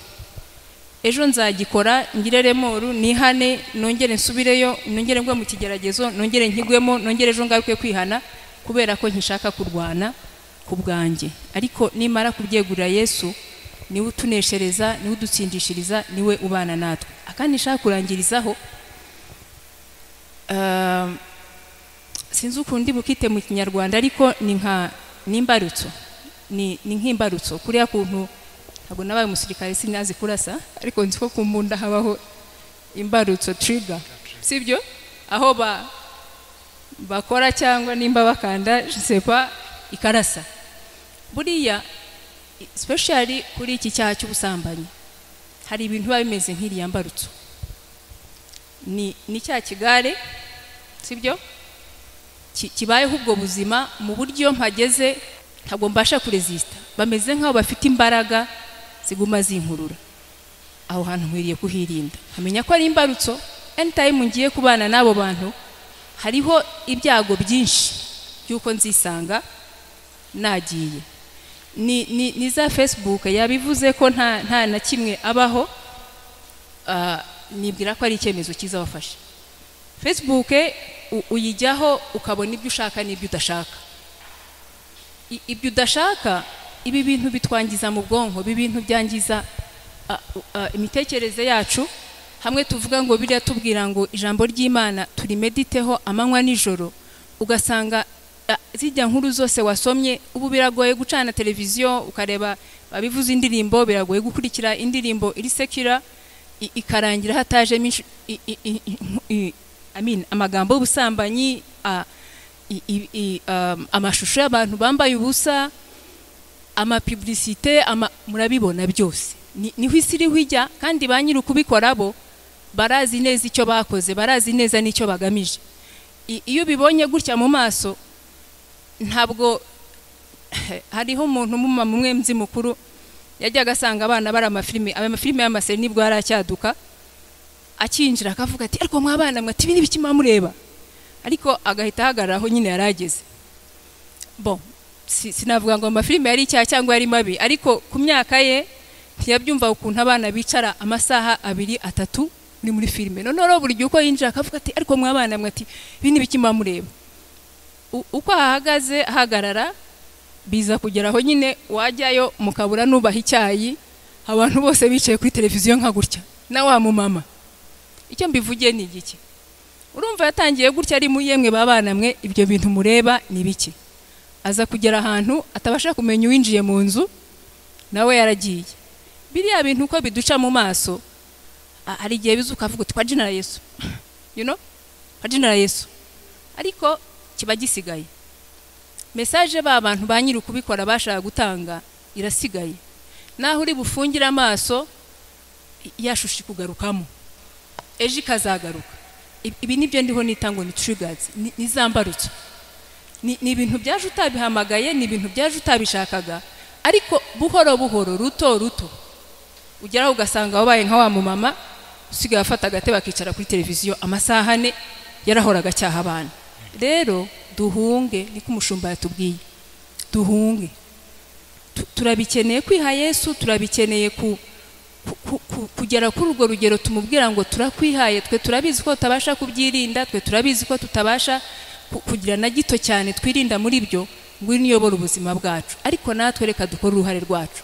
Nta- ntabwo nzajya kwicara kuri filime porunogarafique hanyuma ngo nze kugaruka nti yesu ngera ubufate ubutware. Nkiyibona nimpungire kure.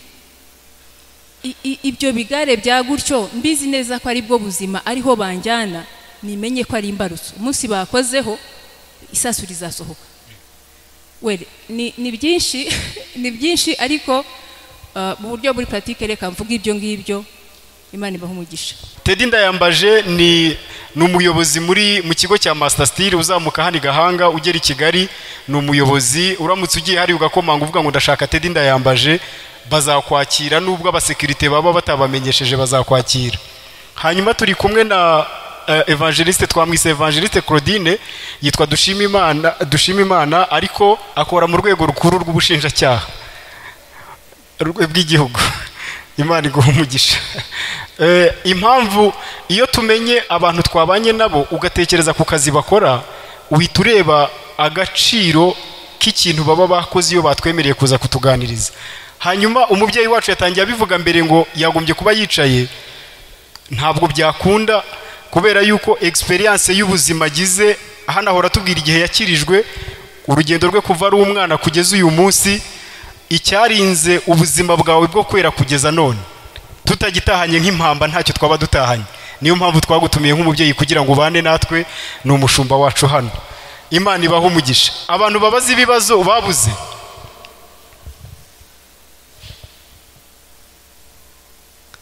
Ibyo batwigishije twabyumvise.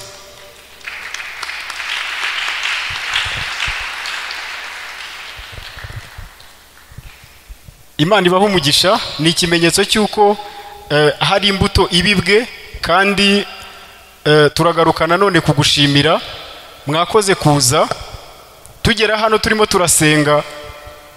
Natangiye kwibaza ko uyu munsi ari ku wa gatandatu ntangira kwibuka ko abantu benshi barakora ku wa gatandatu ariko mu by'ukuri turashimira imana kuri ku bantu bitabiriye ku mubare w'abantu batahanye ubu butunzi. Rekomandasiyo yonyine ndibuze gutanga ntitubigumane tubisangize n'abandi bagenzi bacu. Yesu ashimwe cyane. Duhereye ku mushumba kugeza kuri tedi batubwiye ngo nimuhunge rwose icyaha mwisohokere. Nimuhunge mugende. Hanyuma sitarategi zose baduhaye ari izo gusoma ijambo ry'imana gukomeza kwihata kuba mu, eh, busabane n'imana. Ibi bintu ni mesaje ibishye ku bantu bari hanze hariya. Ariko ni mesaje iryoshye ku bantu twicayemo hano. Ahubwo icyo gukora ni ugusenga kugira ngo yesu adufashe adushoboze dushobore kuba mu busabane Isha twagiriwe ubuntu kuba izi mesaje tuzumva tukumva ni impuguro turimo turahabwa. Abandi bo hanze hariya n'izo nshuti bagiye batubwira kureka iyo umubwiye bene ibi birarura mu matwi ye. Iyo umubwiye bene ibi kubyumva ni nko kumuha umuravumba. Ariko kuri twebwe turabizi neza ko turimo turahabwa impamba turimo turahabwa impamba tuzitwaza mu rugendo nitugera ahananiwe tukibuka ko twahawe sitarategi nitugera ahantu nk'aho yosefu yari ageze tukibuka yuko natwe twahawe umurongo wo kuba muri kirisito no kumusaba imbaraga zo kugira ngo umwuka wera aze muri twe arwanye imbaraga zose z'irari muri twebwe tuzatsinda hanyuma dusohoke twigendere. Umushumba mu kanya bivuzeho aravuze ngo iyo Yo- yosefu. Yibeshya akavuga ngo umubiri ni uwanjye. Akita gusa ku muceri yari arimo ararya hariya kwa potifari ntatekereze kuri se wari mu buhungiro ntatekereze ku, bavandimwe be no ku gihugu. Uyu munsi si impamya ko ijambo ry'imana ryanditse mu isezerano rya kera. Tuba turifite kuko mbona hafi ya byose kugira ngo tubigire. Fondasiyo yabaye gukiranuka no gusohoka agahunga kwa yosefu. Haleluya. Nawe rero kubera uri mutoya ku myaka yawe tedi yaduhaye umwitozo nyuma y'imyaka makumyabiri dutangire kugira viziyo dutangire kurota icyo tuzaba kugira ngo tuzageraho dushobora natwe kwizerwa tugahabwa imyanya nk'iy'aba babyeyi barimo uga- ugahabwa umwanya wo kuba umushumba ugahabwa umwanya wo gukora imirimo nk'iy'aba bavandimwe bakora ni uko guhera uyu munsi. Tugiye kwikomitinga tugiye gufata ingamba tugiye kugambirira mu mutima ko tugiye guhunga icyaha hanyuma tugasohoka. Haleluya. Haleluya. Muhaguruke rero.